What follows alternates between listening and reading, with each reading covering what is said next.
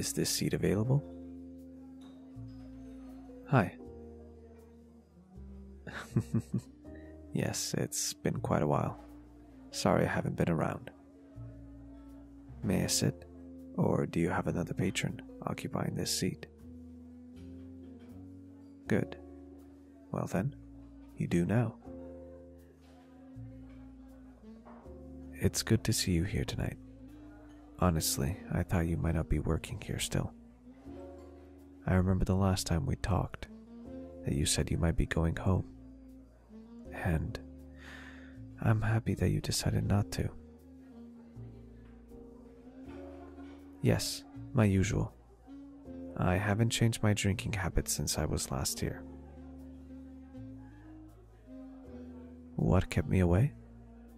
Work mostly. We have a big project that is going to be debuting soon. So there's been a lot of late nights at the office.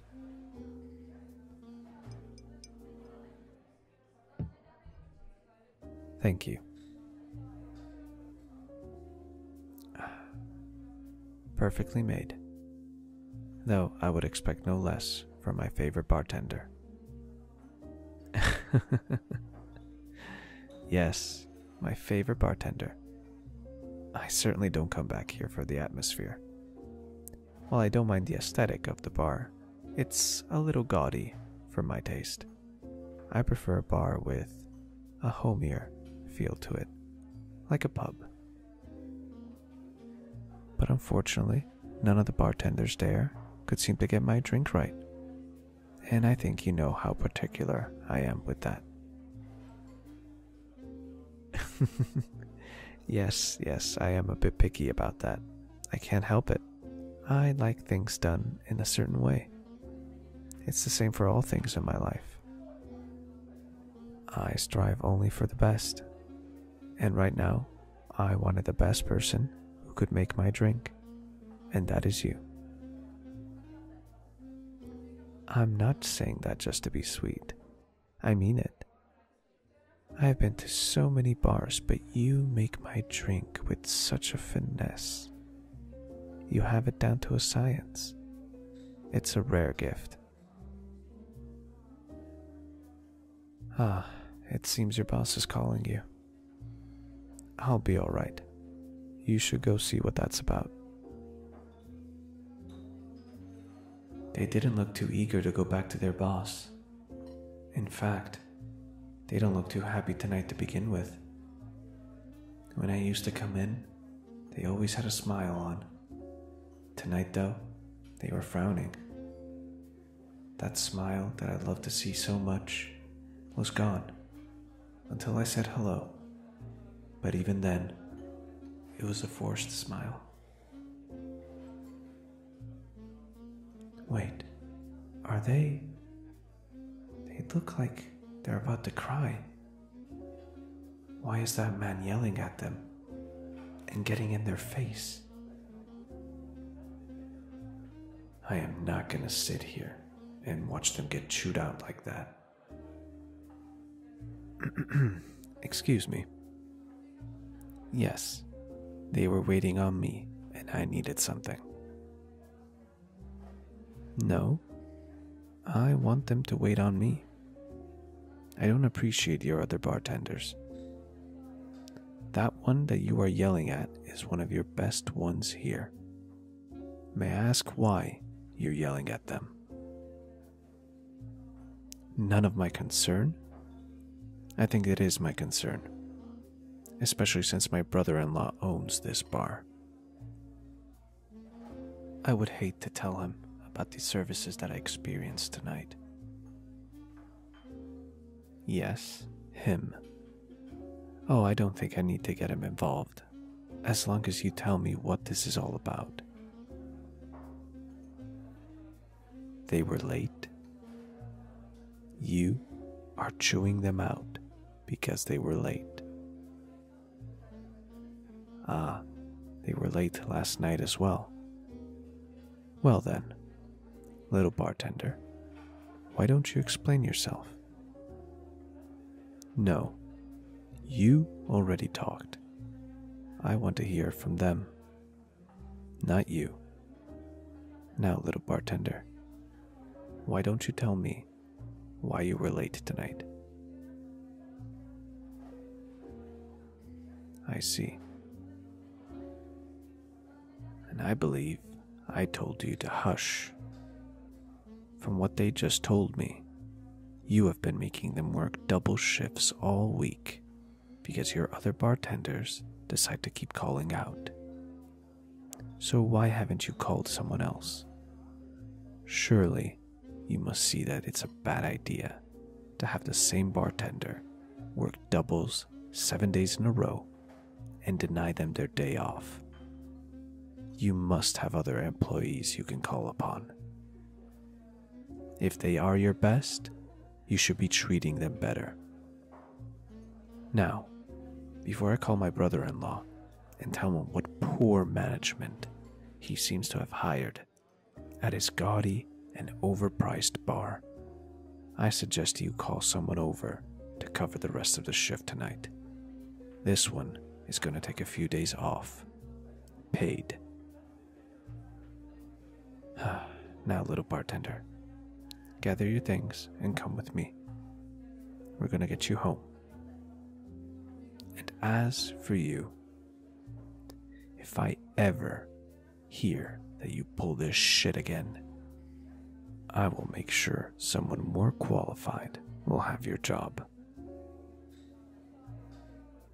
Little bartender, are you ready? Good. We're leaving now.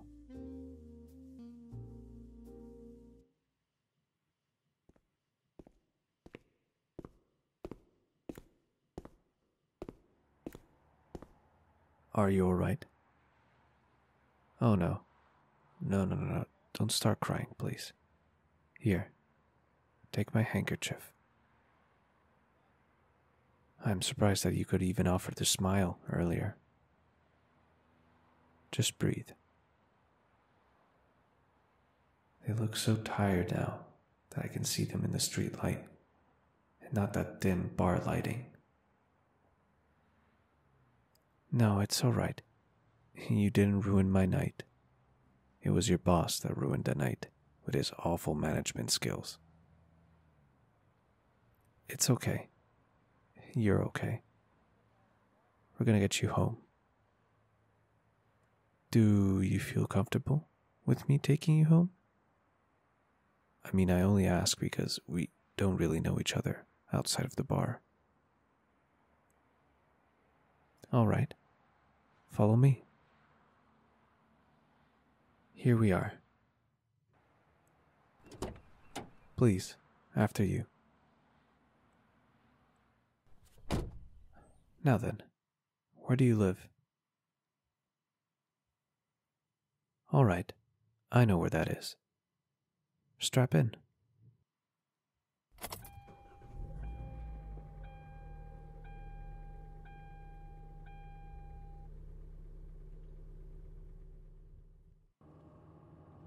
Are you feeling any better? Good. Next time, if he tells you to do that again, I want you to call me. Here, take my phone and put your number in. I don't want you to have any worry about any fallout from this. For tonight, you should focus on getting some rest. I hope I didn't overstep. I just. You looked so distraught, and I couldn't help myself. You looked like you needed help and just needed to get out of there. And I could help, so I stepped in. Please, do tell me if I stepped over the line. All right, if you say so. Forgive me for saying this, but Maybe you should find a new job. And I will really have to tell my brother in law about the type of people he's hired. yes, my brother in law is the owner of the bar you work at. In fact, it was because of him that we met. Remember? He had taken me out for a drink, and you were there waiting on us. Yes, that was the owner. Are you alright? You look pale. Don't worry about my brother. He's a sweet man and honestly enjoyed your services that night. Don't you remember that tip we left you? Yes, it was quite a memorable amount. But ever since that night, I kept coming back. And to be frank, it wasn't just for the drink. I started to enjoy your company. Your wit and kindness struck me. The best part of my day started with being at the bar, talking to you. This last week was hell not being able to come and chat with you. Though it seems that your week was much worse than mine, and I'm truly sorry about that. And hopefully, it won't happen again. In fact, I'll make sure of it. No, no, no, no, it, it won't be trouble. It's the least I could do after all that you've done for me. What have you done for me? Well, you have helped me to relax and have fun again every time that we chat. I've come to appreciate your company. And you saved me from many nights of going home in a sour mood and drinking myself to sleep. You have no idea what that means to me. So, this is the least I could do. In fact, I, I wish I could do more. And we're here. Hold on.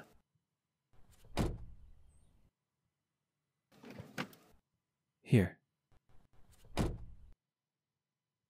Well, I believe this is your apartment building. Oh, and uh, don't worry about the handkerchief. You can keep that. Now get some rest. Like I said, you have the next few days off with pay. Please enjoy them. you don't need to keep thanking me. Oh, you want to repay me with something? Join me for dinner. Yes. Let me treat you somewhere nice. You wanted to repay me. This is the only way I will accept it. Well, think about it, and then I will text you in a couple of days for your answer. I have your number now, but please enjoy your night. And don't worry, little bartender. Even if you don't agree to dinner, I can promise you this won't be the last time we meet.